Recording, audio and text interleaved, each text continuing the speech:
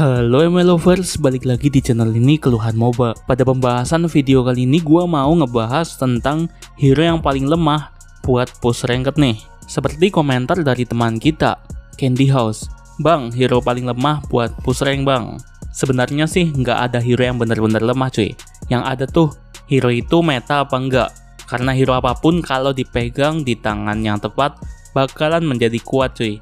Terus dilihat dari gaya permainan tim kita juga nih. Sebelum dilanjut, channel ini butuh dukungan dari kalian dengan cara like dan subscribe-nya, supaya channel ini bisa berkembang kayak yang lain. Langsung aja berikut hero paling lemah buat push rank season 23 Mobile Legends. Yang pertama ada Alice. Hero mage yang satu ini cuma punya tingkat kemenangan sebesar 45,9% aja. Menurut gua sendiri hero ini emang kurang worth it untuk dipakai push ranked di musim kali ini. Alice harus mengumpulkan stack untuk memperoleh performa maksimal dari dia. Udah gitu kalau Alice telah mengumpulkan stack banyak, nggak membuat damage menjadi sakit gitu, macam Aldos atau Cecilian. Stack dari pasifnya Alice cuma membuat dia memperoleh cooldown reduction, shield, dan movement speed tambahan.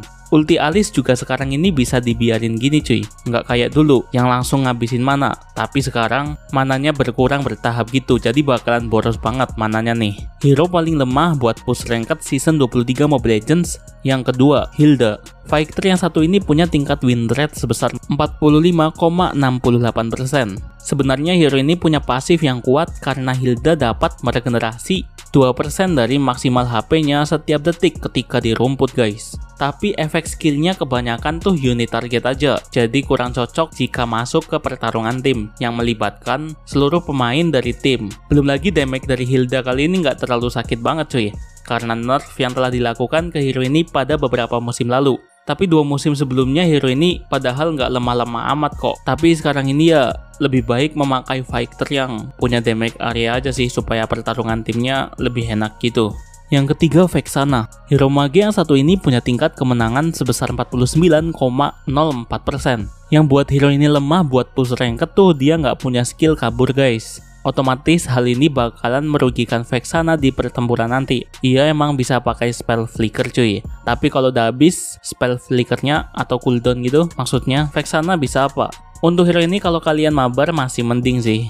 Karena tank bisa lah cover nih hero. Tapi kalau mainnya solo bakalan susah. Satu-satunya yang buat hero ini susah untuk diincar ada di skill satunya guys. Vexana dapat membuat musuh terkena efek Horrify dengan skill satu miliknya itu. Jadi musuh yang mendekat itu bisa dia hindari dengan menggunakan skill satunya ini. Hero paling lemah buat push ranked season 23 yang keempat, Grok. Hero yang satu ini punya tingkat kemenangan paling kecil guys, yaitu 44,57%. Hero tank yang satu ini emang agak lemah di meta kali ini ya, terbukti lah di tingkat win rate-nya itu. Grok memiliki pasif yang bila dia dekat tembok, itu akan membuat hero ini naik pertahanannya cuy. Physical defense dan magical defense-nya ditingkatkan. Oh iya yang buat hero ini lemah untuk push ranked karena ultinya itu harus pas banget momennya. Usahain pas menggunakan hero ini Grok harus menabrak tembok saat ulti, supaya musuh yang kena dapat damage-nya dan kena efek airborne juga cuy.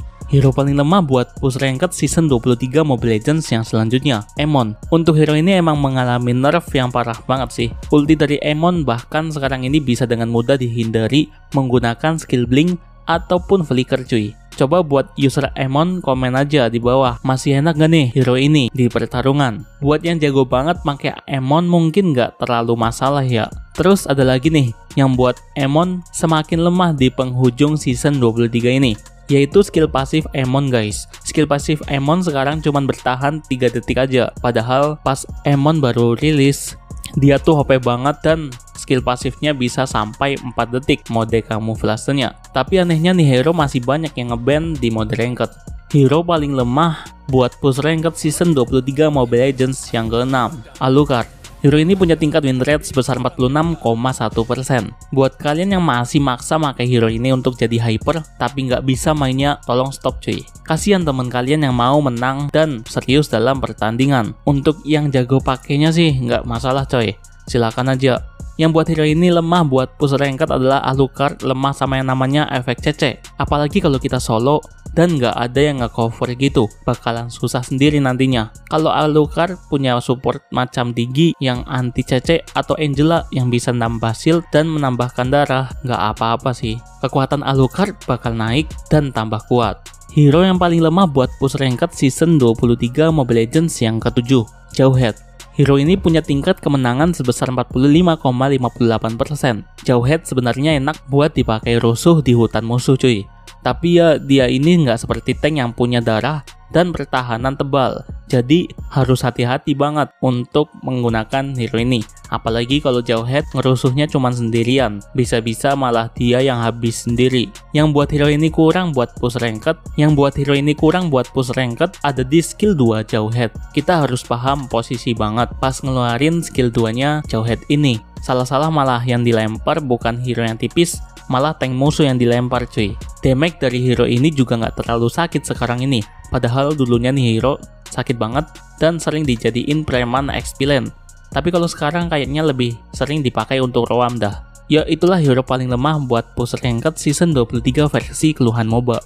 Buat yang mau komen pendapat lain, kayak biasa komen aja di kolom komentar.